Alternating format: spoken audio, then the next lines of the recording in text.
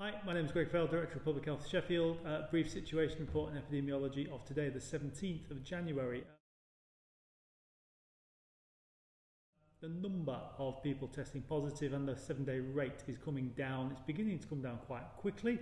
Um, is that an artifact of the fact that you'd no longer need to do a confirmatory PCR if your lateral flow device positive? Possibly, Um, but almost certainly, it's actually the numbers, that number rate's actually coming down in almost all, but not quite all age groups yet. Um, so, um, uh, so, so you know, we reached a peak of about 2,000 per um, 100,000 people over a seven-day period. It's, it's, it's way down on that this week, and I expect it will continue to come down. Um, positivity of those that test the number that test positive, a few weeks ago was 50%, it's now 33%, and again, I think that will go the wrong way. The hospital activity in NHS and social care, more widely activity, hasn't yet peaked, but it's beginning to look like it might be getting there. Um, and certainly relatively short lengths of stay. So most people who are unfortunately hospitalised are probably staying in hospital a lot, lot, lot shorter time than they have been previously.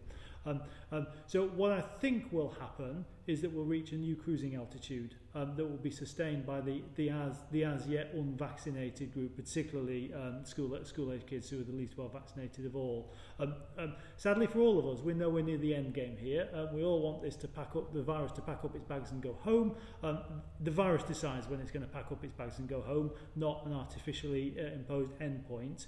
Um, so we're not near the end game. Um, I anticipate, as I say, we'll reach a new cruising altitude. We'll probably come down out of orbit and are somewhere in the stratosphere at the moment. Um, I anticipate that we'll reach a, a high altitude over the spring and summer.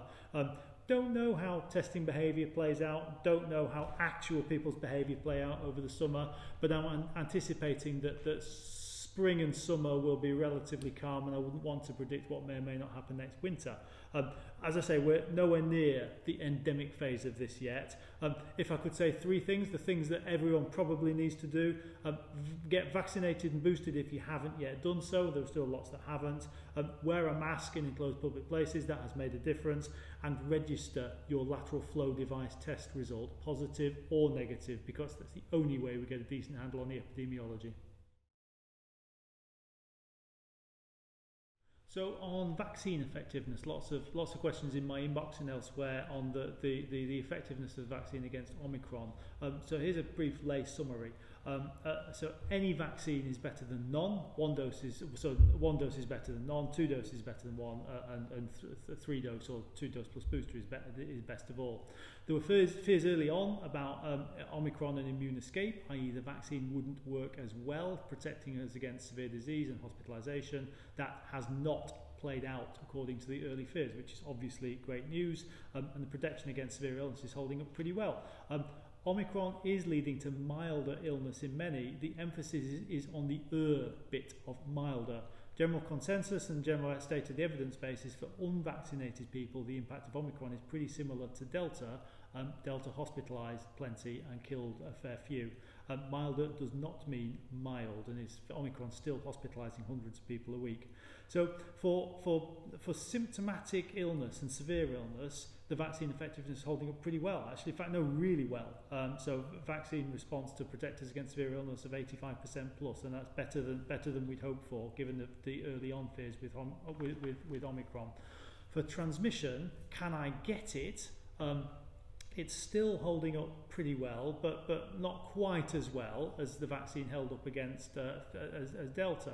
So um, probably about 50% effectiveness, but even if the vaccination halves the likelihood of getting infected. They're one, they're odds that I would take, um, and two, played out over a big population, that does have a significant dent in the transmission of the virus. So all up, the purpose of the vaccination program was to protect protect people against death and hospitalizations. Always done that, it's done that spectacularly well, and it continues to do that. Um, um, the vaccine is slightly less effective against um, uh, um, the Omicron than Delta, slightly, but in every scenario, it's a stunningly effective vaccination. There's no scenario in which natural immunity is better than vaccine related immunity. Uh, in every scenario, the risks of infection um, way outweigh the side effect, and there are side effects of this vaccination, but by, by many, many orders of magnitude. Just because it's slightly less effective does not mean it is ineffective, and the third dose gives considerable protection to people against the circulating antibodies as we have seen play out over the last couple of weeks. So if you haven't yet been vaccinated, it is never too late. So as of today, the 17th, government's changing its approach to isolation so that um, as of today, um, people who've been self-isolating because of COVID-19 infection will be able to end their isolation after five full days uh, instead of the previous seven days Um, uh, but the five full days is still on the basis of a negative lateral flow device test. So the rationale is that a shorter isolation period um, allows people to return to work, education, social activities more quickly, um, and that undoubtedly will help workforce shortages in the economy um, and allows children and students to resume their education, which is obviously a good thing. Um, there are some risks. Um, uh, it has to be, you can only end your isolation on the premise of a negative lateral flow device result. Um, it's important that we interpret lateral flow device results carefully, um, certainly in the context of the current epidemiology, If you test positive with lateral flow device test, it's almost certainly that you have COVID and should continue to isolate. Um, the converse isn't true on account of the sensitivity of the test. So if you test negative, it doesn't mean you don't have the virus. Um, so symptoms is a really, really important um, di di distinctor. Um, if you remain unwell after five days, so if you have a high temperature, a bad cough, you should continue to isolate. Um, um, and that, that's important because the, it's the symptoms and the cough that can continue to sp spread, spread the virus, um, even if you've got a negative test, a negative LFD test, test result. Um, so people perhaps shouldn't rush back to work and other activities too quickly. Take the time to fully recover from your illness first before you rush back.